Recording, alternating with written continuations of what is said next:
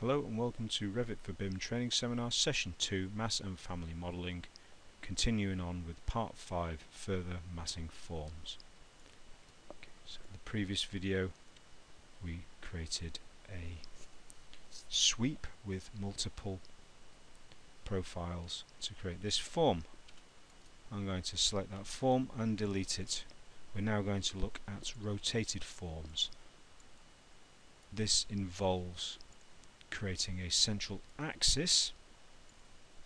This time I'm going to draw a vertical line and then creating a profile that can be rotated around that central axis. If I select both forms, hit create form, notice here I get the option to either make a flat plane from the two or a rotated form. So select that you'll see it's rotated that line. Now it's an empty shell of an object with a hole down the middle. Okay. If I select this and go to edit profile I can make further changes to this if I want.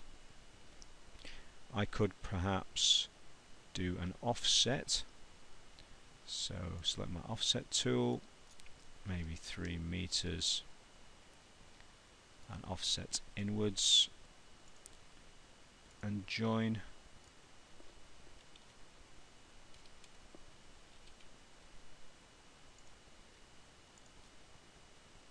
And join the ends of those lines. Hitting my tick now. That closed shape has been rotated around that central object. Okay if I select this again and go to edit profile get rid of those two shapes. What if I don't want a hole down the middle? If I was to do this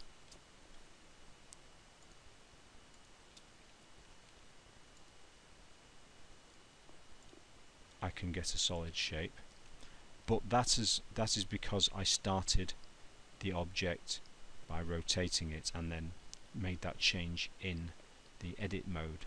If I want to do that from scratch, I'll come out of here, undo, away, back to this point. If I demonstrate what happens if I'm in this environment, so if I try and do the same thing here, that is a single form, and if I want to create a form out of it, it's just going to extrude, as you've seen before.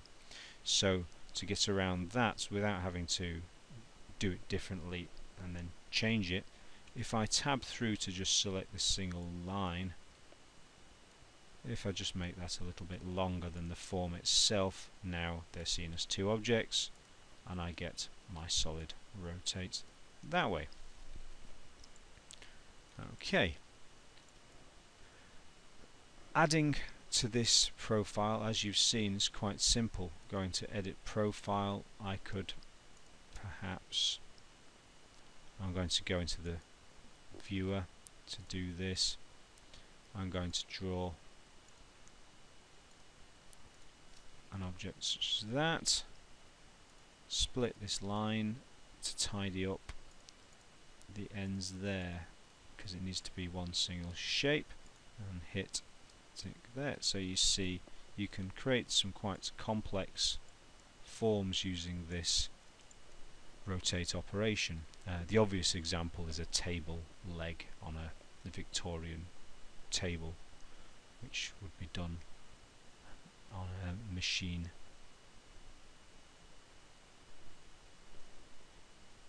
The obvious example of this would be a table leg, an old Victorian table leg. Okay. Next I want to look at adding parameters.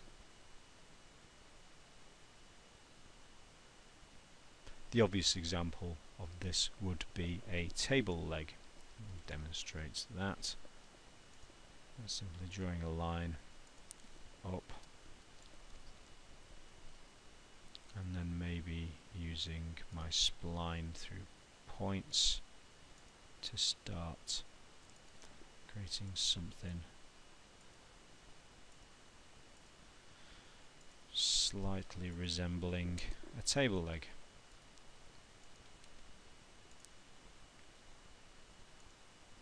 Or a candlestick, I guess that would be there. So, okay. Let's select and delete off the objects that we've already made. I'm going to tab through to select the whole form and hit delete to leave us some empty space to work in. Okay we're going to go through the same moves again but this time we're going to add parameters. So we're going to do a loft a sweep and a rotate. We've talked about parameters in previous videos.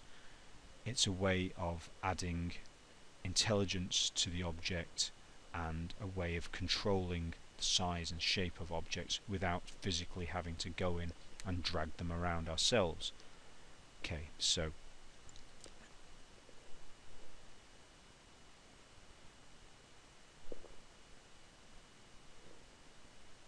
we'll start with a loft and we will create three profiles on our three work planes. Let's create a square on the floor and give it some parameters, a circle on level 2 and give it some parameters, and a polygon on level 3. Now the square is a very easy one to do and we've done it previously so let's quickly do that. Some of these are actually quite difficult and involved but we'll um, highlight and explain some of the workarounds you sometimes need to do when you're working with parameters. Okay, so I'm going to select my ground floor plane and draw a rectangle into the quadrants of my work planes.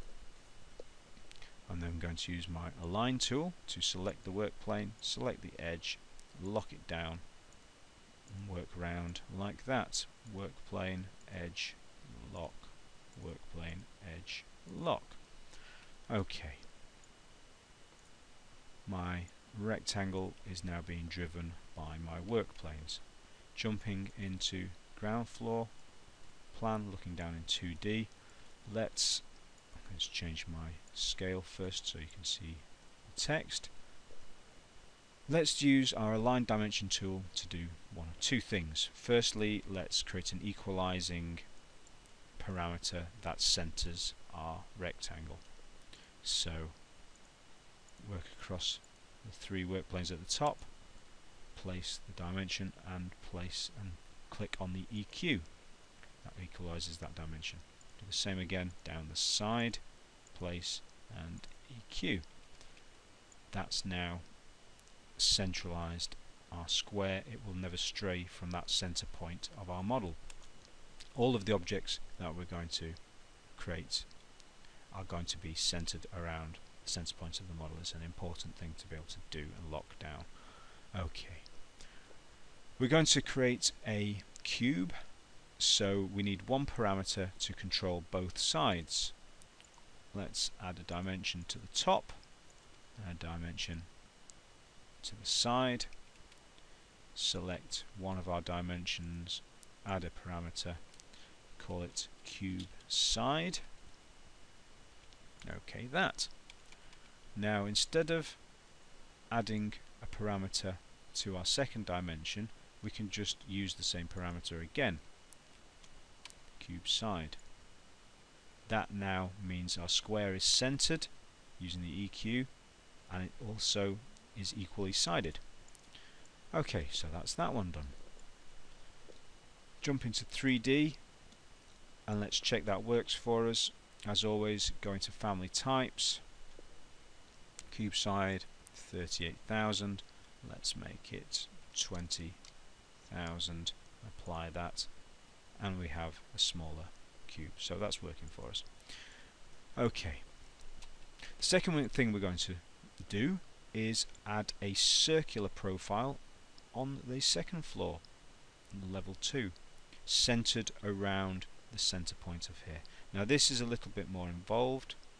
Let's select level 2, so we're drawing on it.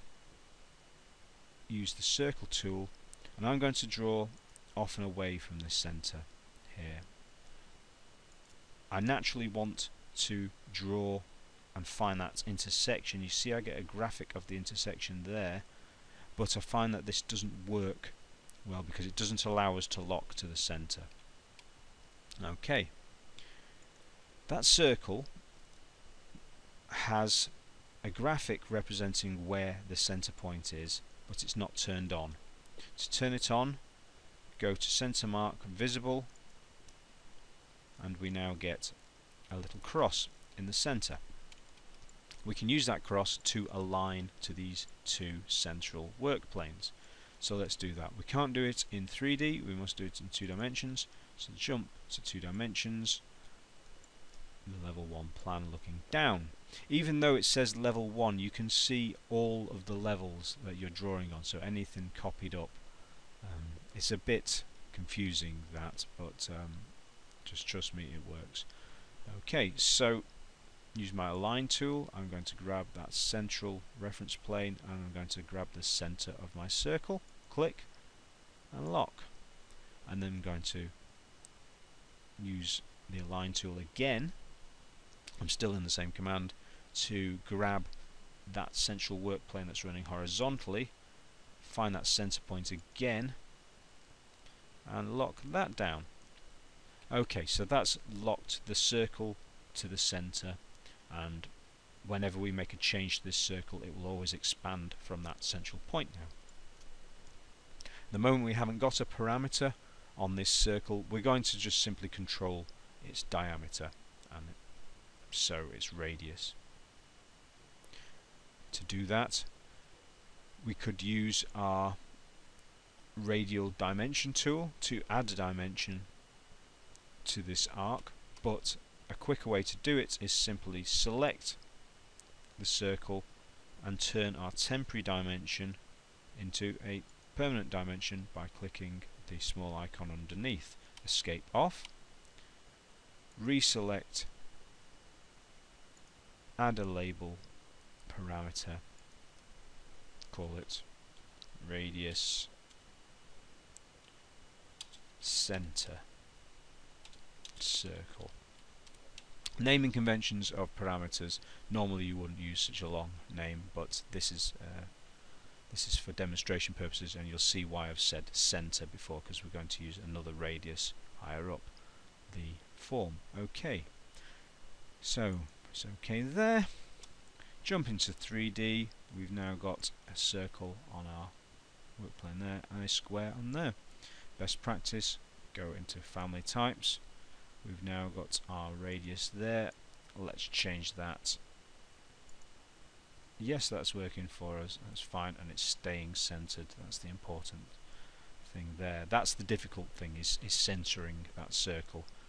Um, if you're tempted to just use that center point to originally form the center of your circle, when you create um, when you make a change using a parameter, the circle tends to go offline and off center. So Okay, that's working fine for us.